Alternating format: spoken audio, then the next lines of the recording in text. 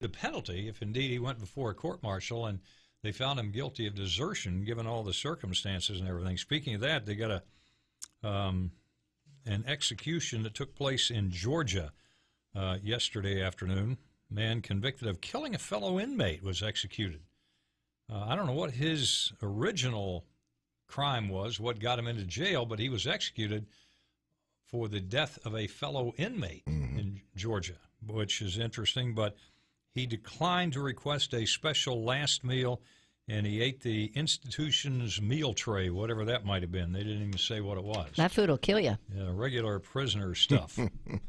uh, we were talking earlier about Bowe Bergdahl and the fact that we feel a decision has been made, but it hadn't been announced. And uh, Brian Bouffard joins us right now, criminal defense lawyer and former U.S. Navy JAG lieutenant commander. Uh, JAG being the Judge Advocate General means he's in the law part of the military. And Brian, thanks for joining us on AM Tampa Bay. Why are they waiting so long to release the findings that apparently were arrived at several months ago? Hey, good morning, y'all. Uh, that's a great question, and, and I don't have a good answer for that uh, other than there's really nothing that requires them to release them to the public at any time. So they're they're playing it close to the vest. The law allows them to do that, but but I still think that that leaves open the question of why has this thing taken so long. And ultimately, if he is found to have uh, engaged in desertion by this committee, he then uh, I, I, guess that's kind of like a grand jury, and then he would go before a court martial board, right?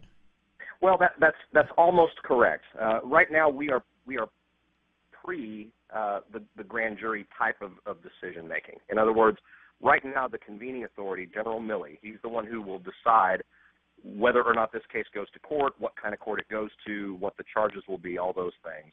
He hasn't made any of those decisions yet, or at least we, we don't know that he has. So once once he gets all the information before him, he makes the decision. All right, w- what do I think happened here? What is the result, and and what is the appropriate way to get to that result?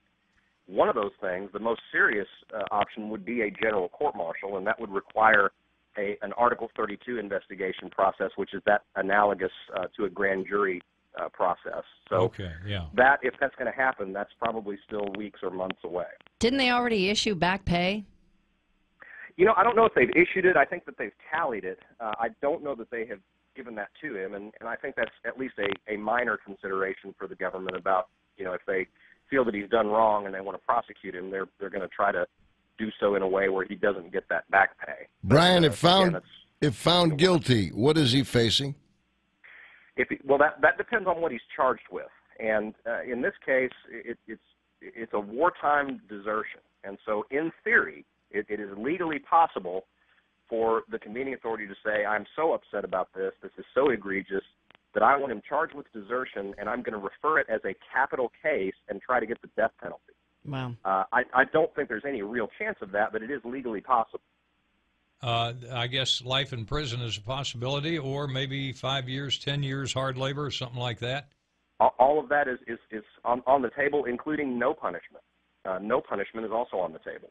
Well, they uh, we were talking to Colonel Waurishuk, uh, Jim Waurishuk, the other day, and he was we had pointed out that we heard when all this happened that when this guy had deserted, that at least a couple of his teammates had lost their lives going out and trying to retrieve him to get him back.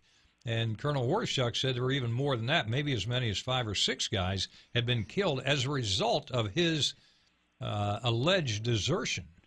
Right. And if that were the case, I would think you'd almost have to give him the death penalty because he contributed to the killing of, of our own military guys.